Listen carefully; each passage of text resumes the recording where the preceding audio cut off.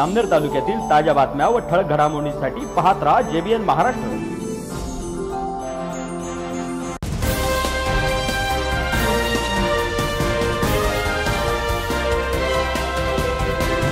नमस्कार मी मिनल चौधरी. पाहूया काही ठळक वृत्त. जामनेर शहरातील आनंदयात्री परिवाराच्या वतीने पत्रकार परिषद घेण्यात आली. आनंदयात्री परिवारातर्फे दिवाळीनिमित्त जामनेर शहरातील रसिक श्रोत्यांसाठी सात नोव्हेंबर रोजी सकाळी सहा ते नऊ वाजेपर्यंत दिवाळी पहाट या कार्यक्रमाचे आयोजन करण्यात आले आहे. शहरातील बोहरा मंगल कार्यालय येथे हा कार्यक्रम संपन्न होणार असून हा कार्यक्रम विनामूल्य असल्याने श्रोत्यांनी या कार्यक्रमाचा लाभ घ्यावा असे आवाहन आनंदयात्री परिवाराचे अध्यक्ष डॉक्टर अमोल शेठ यांनी या पत्रकार परिषदेत केले. तयार होण्यास मदत झाली.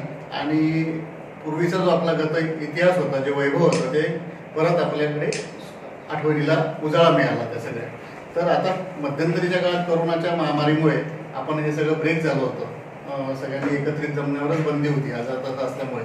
परंतु आता आपल्या सगळ्या सुदैवाने कोरोना महामारी आटोक्यात आली आहे. आणि परत ही चळवळ आपल्याला नव्या जोमाने आणि नव्या दमाने सुरुवात करायची आहे.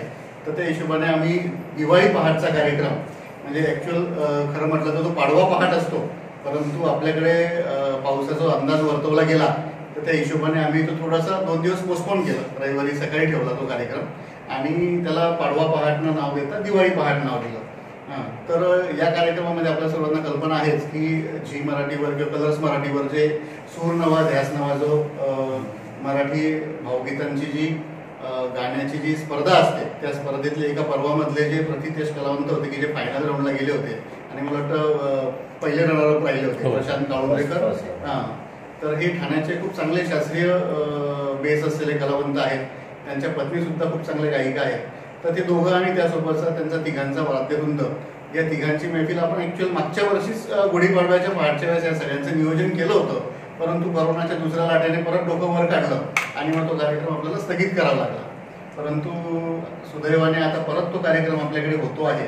आणि या रविवारी सकाळी सहा ते आठ भोरा मंगल कार्यालय पाचोरा रोड जामनेर इथं आपण तो कार्यक्रम आयोजित केला आहे. कार्यक्रम सर्वांसाठी प्रवेश विनामूल्य आहे सर्वांसाठी खुला आहे. सर्व जामनेरकर किंवा इतर पंच पंचक्रोशीतली इतर सर्व रसिक मित्रांसाठी आणि आपल्यासारख्या जाणकार रसिक पत्रकार मित्रांसाठी तर तो प्रामुख्याने आपण सगळं आमंत्रित आहात. आपण सर्वांनी अगदी आवर्जून सहकुटुंब सहमित्र सहपरिवार यावं आणि कार्यक्रमाचा आस्वाद घ्यावा. तसं जास्तीत जास्त लोकांपर्यंत या कार्यक्रमाची माहिती पोहोचावी या हिशोबाने आपण जर जनजागृती केली आपल्या माध्यमातून तर आमच्यावर खरंच आम्हाला ती एक मुलाची मदत होईल. तर आपल्या सर्वांना एक विनंती आहे या कार्यक्रमाची जास्तीत जास्त प्रसिद्धी जास्तीत जास्त माहिती जास्तीत जास्त लोकांपर्यंत या पंचकृषीतल्या जामनेर पंचकृषीतल्या लोकांपर्यंत पोहोचावी. जेणेकरून आपल्या कार्यक्रमाला एक चांगलं मैफिल आहे ती गाण्यांची तर तिला एक चांगली सजावट येईल. त्यात भावगीतं आहेत भक्तिगीतं आहेत आणि बहुतेक सगळा शास्त्रीय बेस आहे. अत्यंत चांगल्या वातावरणात तो कार्यक्रम संपन्न होईल. आपण अशी आशा करूया आपल्या सर्व ठीक आहे त्याला एक प्रश्न पडतात किंवा ते विचाराने तसं एकत्र यावं लागतं एक आवड लागते ओढ लागते या गोष्टींसाठी. परंतु आनंद यात्रेचा उद्देश केवळ तेवढाच नाही आहे की सांस्कृतिक कार्यक्रम आयोजित करणं.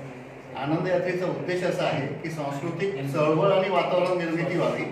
जेणेकरून याच पंचक्रोशीतली जी स्थानिक कलावंत मंडळी पुढे म्हणजे आपण बाहेरून लोक बोलवण्यापेक्षा स्थानिक कलावंतांची कार्यक्रम कसे प्रमोट करता येईल आपल्याला? की जी स्थानिक कलावंत मंडळी होती की जी बरेच आपल्या जामनेरमध्ये जुने खूप कलाकार होते पण ते आता लोक पावले बरेच. आणि जी कलाकार मंडळी आता होती तर ती दुसऱ्या कामा कामधंद्याला लागून गेले कलावंत आपले सोडून. कारण त्यांना त्या हिशोबाने प्रसिद्धी किंवा जो मान सन्मान किंवा जे काही मानधन मिळायला पाहिजे ते मिळत नव्हतं. ही स्थानिक जी चळवळ आहे किंवा स्थानिक जे कलावंत आहेत त्यांना परत ते त्यांना उभारी मिळावी परत उत्साहाने व्यासपीठ मिळावं. एक हक्काचं व्यासपीठ असावं. ते निर्माण व्हावं. हा एक आनंद यात्री चळवळीचा प्रमुख उद्देश आहे. आणि या कार्य या भेटीच्या निमित्ताने मी आपल्याला गावी देतो की पुढील एका वर्षात किमान एक तरी कार्यक्रम आपण स्थानिक कलावंतांचा मग मुलांचा असेल ते दुसऱ्या कुठल्या वर्गाचं असेल ते नाटक असेल कविता वाचन असेल किंवा काही नाही तर गायनाचा असेल तर असं कुठलं तरी स्थानिक साहित्य संस्कृतीशी निगडीत कुठला तरी एक कार्यक्रम आपण स्थानिक कलावंताच्या हिशोबाने देऊ ही आपणास ग्वाही ग्वाही देतो. त्यामुळे बरेच परिणाम दुष्परिणाम आपलं सर्वजण आपण भोगतो आहोत.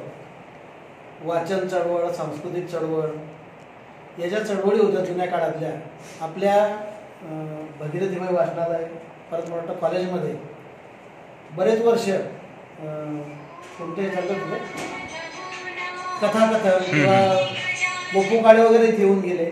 अशी मोठी मोठी मंडळी या ठिकाणी येऊन गेली. म्हणजे जामनेरमध्ये रसिक श्रोते आहेत याच्याबद्दल नक्कीच शंका नाही आहे परंतु दरम्यानच्या काळात ही चळवळ काही कारणास्तव बंद झाली. अनेक लोक त्यातून बाहेर पडले. कारणं अनेक असतील. परंतु अशी सामाजिक बांधिलकी जपणारी एखादी चळवळ जर नसली तर संस्कृतीचा ऱ्हास होतो आणि तरुण पिढी मग भरकटते. भरकटते म्हणजे ती वेगवेगळ्या मार्गाला लागते. ते होऊ नये. संस्कृती आणि संस्काराचा पगडा आपल्यावर कायम असला पाहिजे. त्याच्यासाठी आम्ही परत ती चळवळ उभी करण्याचा आमच्या समविचारी मित्रमंडळींनी हा निर्णय घेतला. आणि त्यातून ही चळवळ उभी राहिलेली आहे. या बातमीत इथेच थांबूया. ताज्या अपडेट्ससाठी W W W J B N Maharashtra dot com या आमच्या वेबसाईटला लॉग इन करा. तसेच यूट्यूबवरील आमचे व्हिडिओ पाहायला विसरू नका आणि Google play स्टोअरवरील J B N news app download करून J B N Maharashtra news channel live पहा. नमस्कार.